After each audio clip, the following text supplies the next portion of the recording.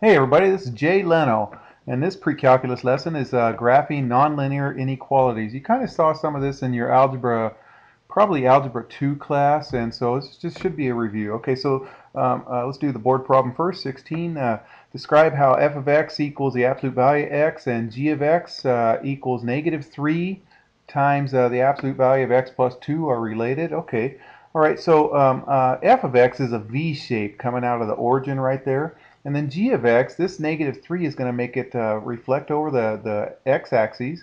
This plus 2 is going to make it go to the left uh, 2 units right here. And this 3 right here is going to make it skinnier. Instead of going uh, over 1 down 1, it's going to go over 3 down 3. So uh, it's reflected over the, over the x-axis. Uh, not the y-axis. This says uh, y-axis right here. So it's reflected over the, the x-axis. Sorry, let me change that real quick. Um, and uh, and then uh, and, and, then it's going to be um, more narrow and it's going to be translated two units to the left. Now I know it didn't say graph, but I go ahead I went ahead and graphed that uh, right there. So here's f of x right here, and then here's g of x, the red guy right here. See how it's skinnier? Uh, right there. So if we go over one, it went down three. So right about there, right there. So anyways, uh, that's the graph of that. Okay, let's go ahead and graph these guys. Um, uh, this one, this is a parabola. So this parabola is going through 0, 0. So over 1, it goes up 2 times 1 squared. So this 2 times 1 squared. 1 squared is 1, so it's going to go up 2. If I went from the origin again, over 2, 2 times 2 squared would be 8. It's going to go up 8 on both sides. Okay, so over 1 up 2 times, over 2 up 8, and then go ahead and graph it. There's my parabola.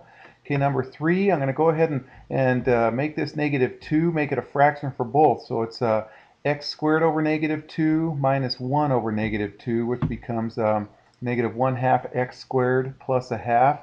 Okay, so it's going to have this vertex is going here at a half, so I'm going to put a little dot right here. Let me get this on right here. Okay, so a little dot's going to go right there and it's going down. It's going down a half of 1 squared, a half of 2 squared. So when I go over 1, and I'm at the half mark, it's going to go down a half of 1 squared, which is a half. So I'm going to put a point there and there. And then from here, when I go over 2, 2 squared is 4, half of that is 2, so it's going to take me down to um, uh, negative 1 and a half on that, okay? So you're going to go ahead and graph that, and there you go. All right, uh, so graph the nonlinear inequalities. Um, so determine whether uh, these ordered pairs are a solution to the inequality y is greater than or equal to 2x cubed plus 7. So you're just going to plug in all those x's and y's for each one of those, and you're going to find out only uh, negative 2, 5 and negative 4, 2 uh, satisfy that, okay? And I think you guys can see what I did right there. So I'm going kind of fast just to keep the video short. All right, okay, graph y is less than or equal to the cube root of x minus 1 plus 2. Let's go ahead and do the parent graph, you guys, of y equals the cube root of x. Okay, there's y equals the cube root of x. All right, uh, so the cube root of 1 is 1, the cube root of 8 is 2, the cube root of negative 1 is negative 1, and the cube root of negative 8 is negative 2. Okay, so something you guys should get uh, in your memory banks. You should know that by now. All right, and then this little dude is going to shift it to the right 1 and up 2. So I'm just going to take this graph and shift it to the right 1 and up 2. Okay, so there's that one right there. And then we just got a shade. So uh, test 0, 0. 0, 0 satisfies that, so it's going to be shading on that side of that. Okay? If, if it 0, 0 didn't satisfy that inequality, then I'd shade this side up here. All right, let's try another one here. Okay, uh, this one's going to be an absolute value, so instead of going through 0, 0, it's going um, uh, over 5 to the right, up 4. Okay, and it's going to be a dotted uh, V. So there, uh, over to the 5, up 4, there's my dotted B. Again, test 0, 0. 0, 0 doesn't make it true. When I plug in 0 here, 0 here, it says no. So I'm not going to shade the outside. I'm going to shade the inside of that, uh, that V shape right there. So there's that one right there.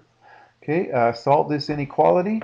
Okay, or not inequality. Yeah, this inequality. Okay, first I got to get rid of that 3. And then when it's pointing away from the absolute value, once you've isolated that, then this is a OR statement. So you have to make it um, x minus 4 is, is greater than 5 or x minus 4 is less than negative 5. And then go ahead and solve each one of those. And I like having the number, the smaller number on the left and the bigger number on the right. So there's the, the algebra answer. Okay, one more, you guys. Okay, um, solve 2 less than the absolute value of 2x minus 1 greater than negative 7. Again, I got to get rid of that 2.